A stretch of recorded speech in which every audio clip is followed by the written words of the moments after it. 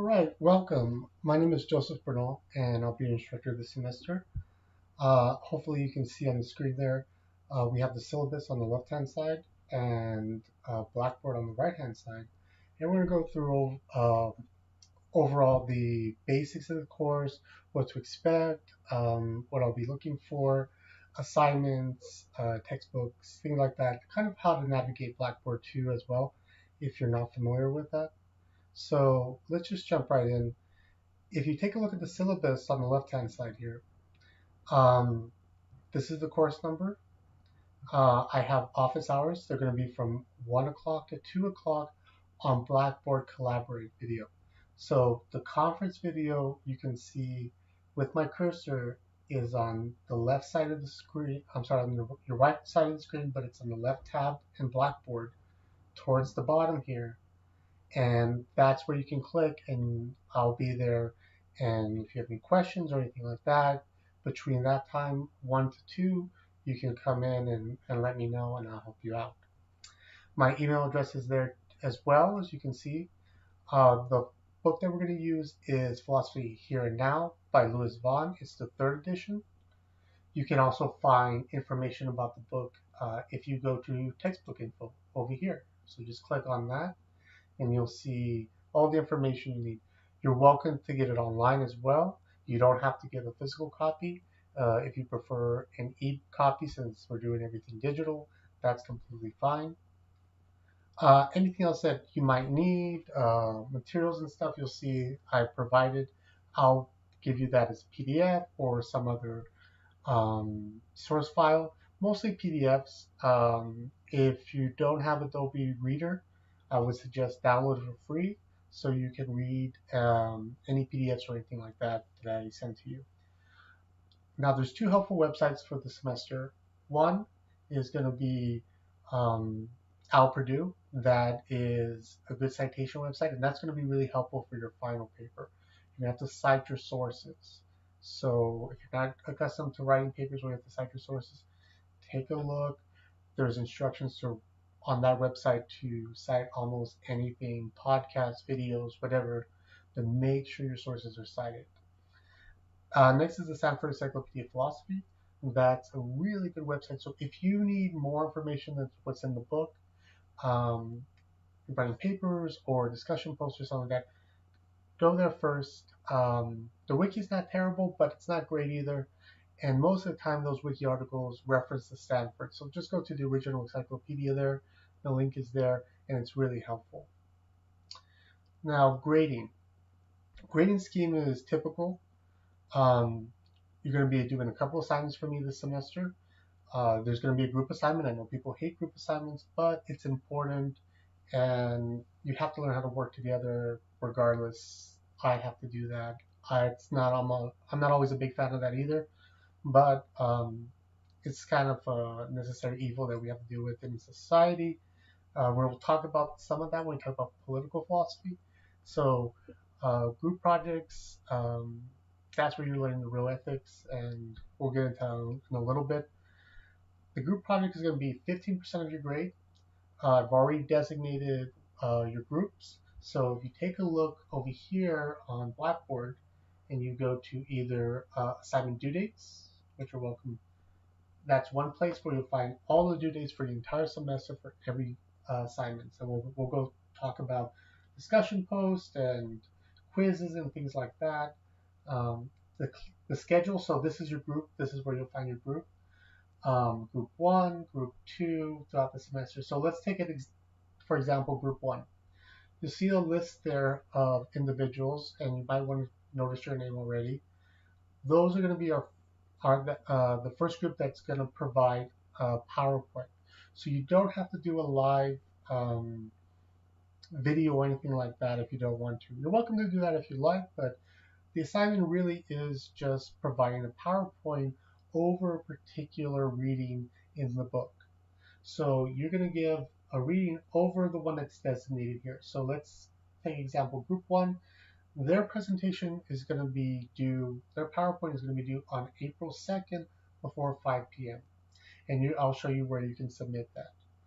And they're going to do a PowerPoint over a reading in chapter 2 by Arthur C. Clarke, The Star, and that starts on page 131.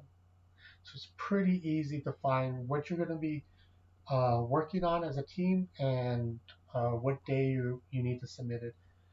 Now, where do you submit it? And this is where you'll find all the information for the, the PowerPoint project. Go to assignments right here on the left-hand side, and you'll find, again, the schedule below and the requirements, the instructions for the PowerPoint. Um, make sure you read those carefully. There's a grading rubric that I go by. It's right there. This is how I'm going to grade your presentation based on these criteria. So make sure it's a checklist for yourself. Make sure your your group works together and you're doing all that together. Now, the next part of that is the report.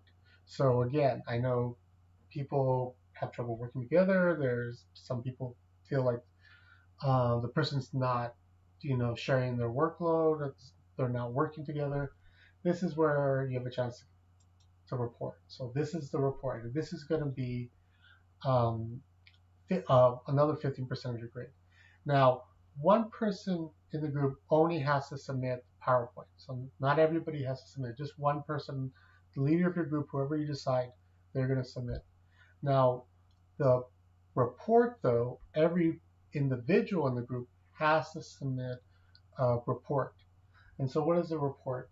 So if you go to group PowerPoint here, report, um, you'll download this particular document, and I'll just open it real fast to show you what it looks like.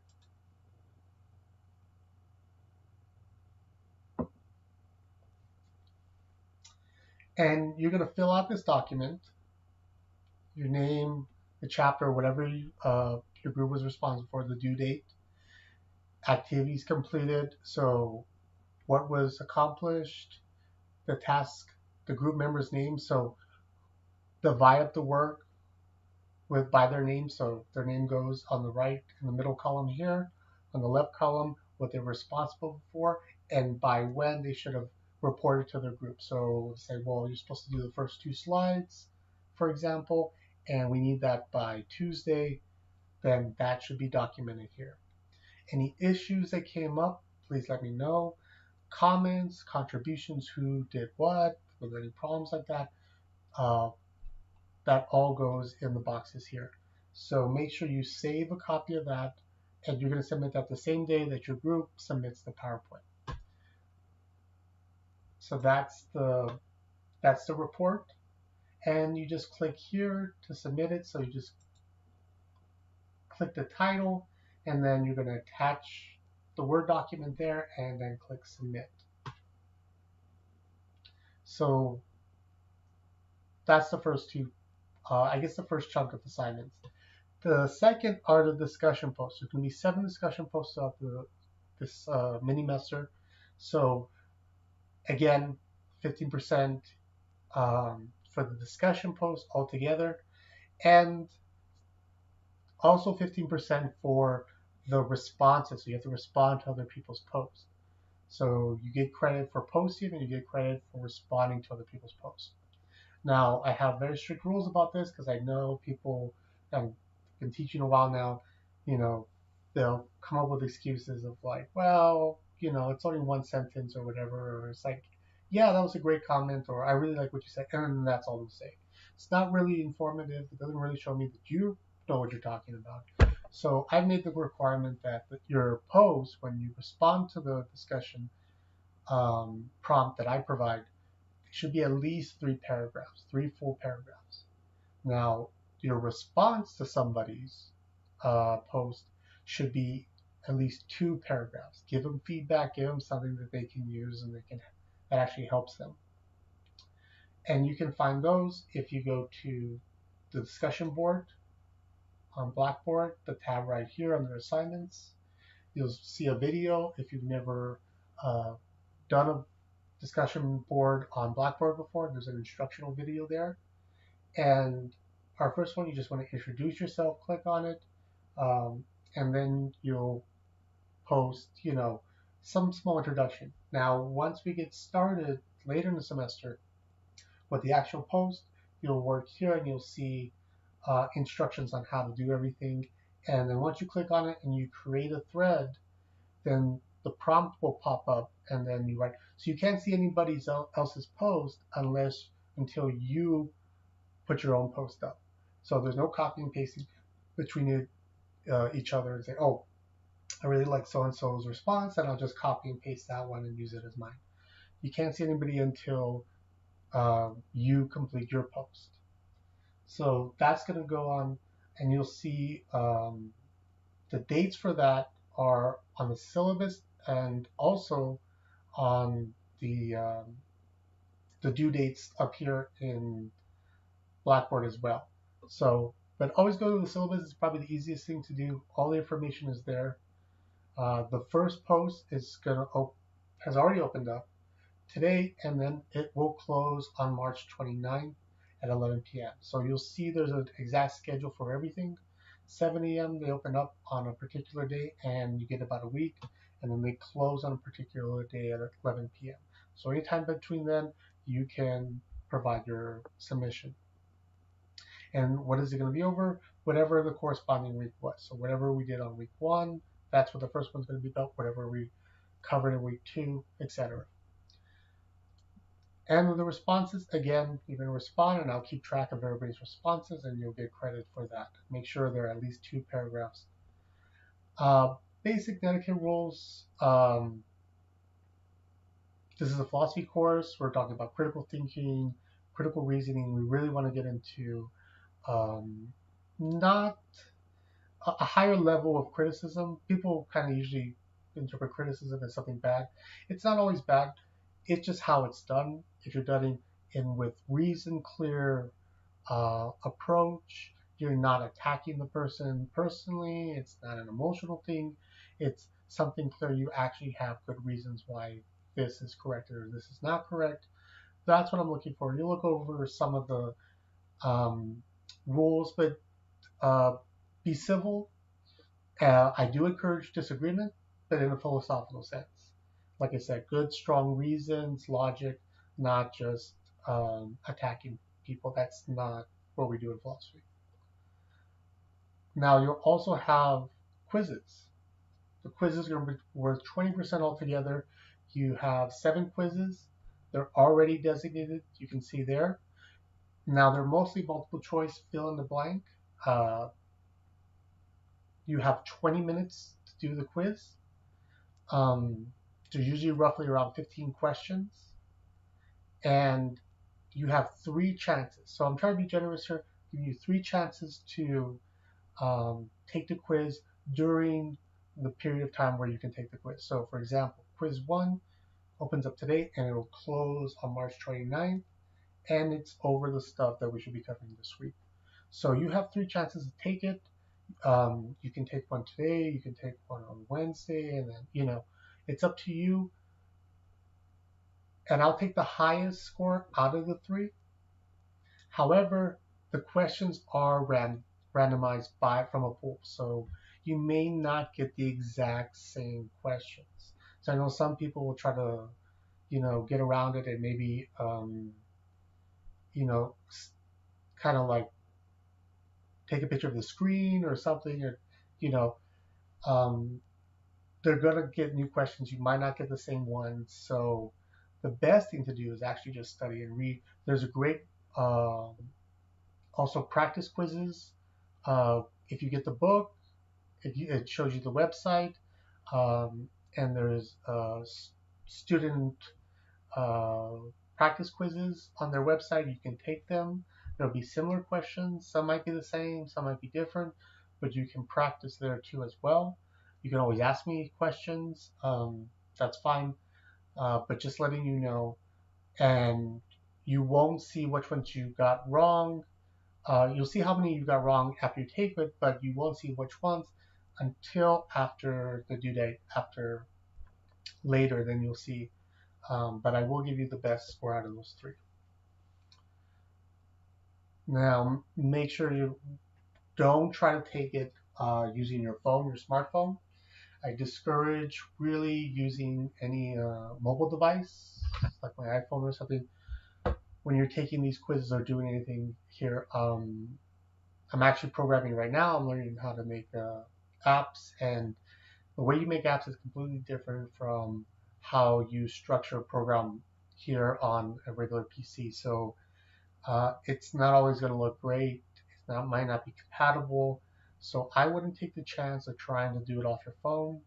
Um, stick with one computer, stay with that computer uh, to take all your quizzes. Um, make sure, and here's a link here on the syllabus, that uh, your browser is up to date. You don't need to update anything, and everything's working correctly before you get started taking the quizzes. And then finally, the last thing is there's going to be a final paper. Uh, it's going to be worth 20% of your grade, and it's going to be personal, but it's also going to be comprehensive as well. So you're taking everything that we learned throughout the semester, and then you're applying it to your own life. So this is where I really want you to take away something from this class.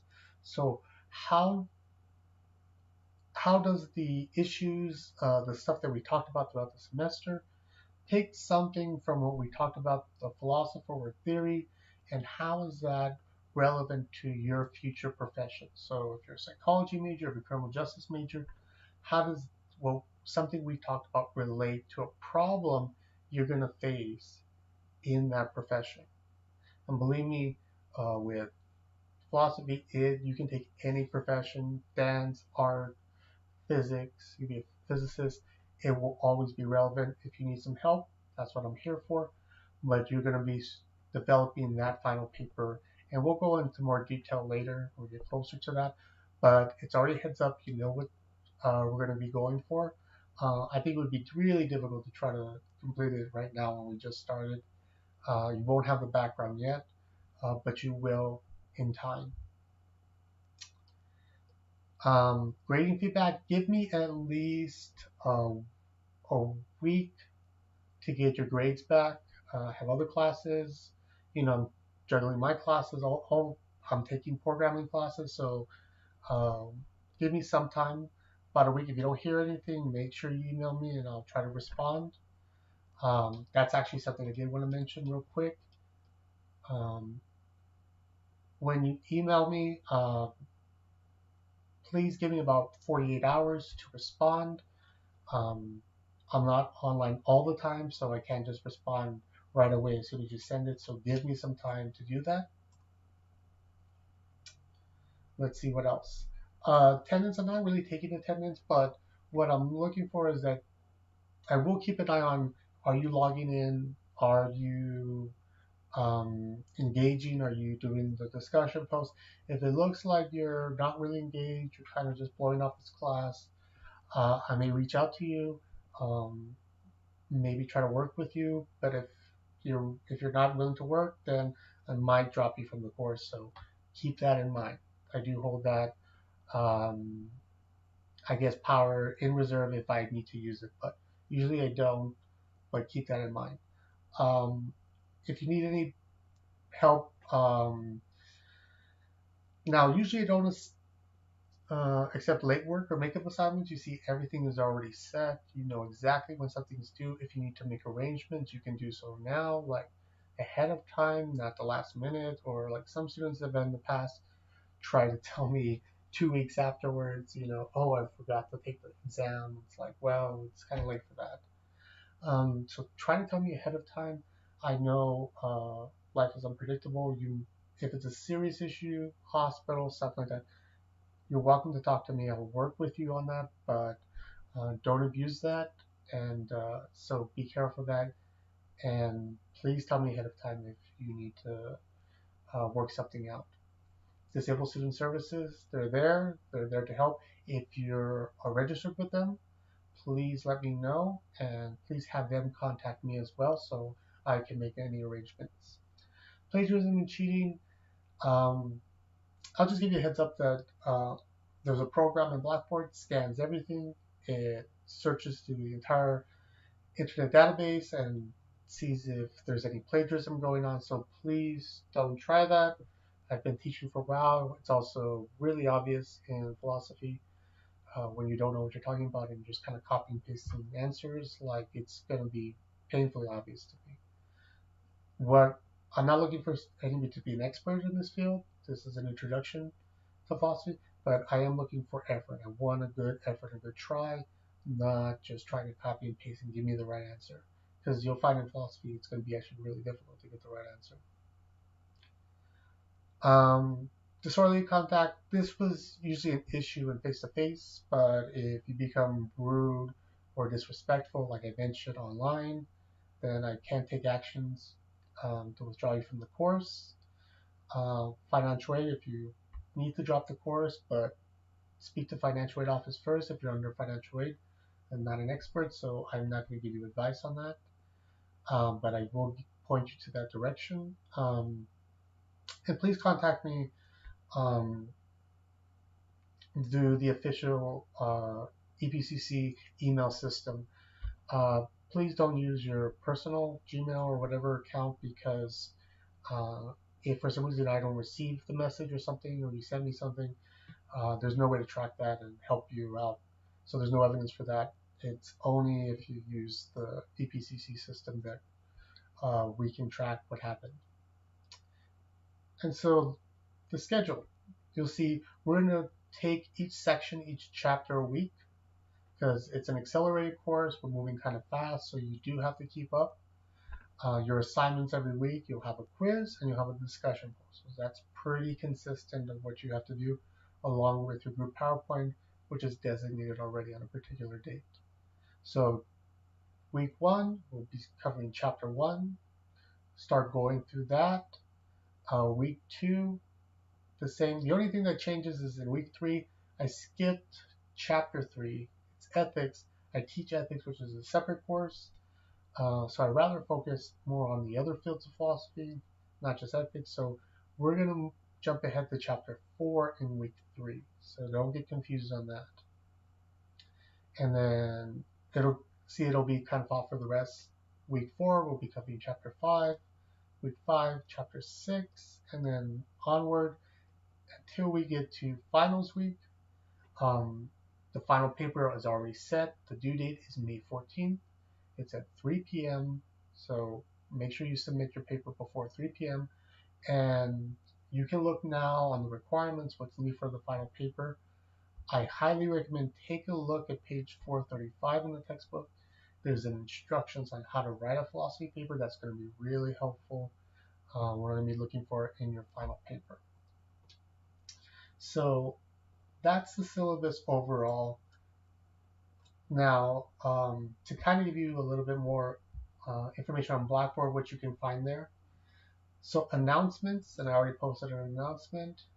Um, make sure you keep an eye on announcements. If for some reason I have to move a test or whatever, or quiz or something, I will let you know on announcements right away. So keep an eye on your announcements.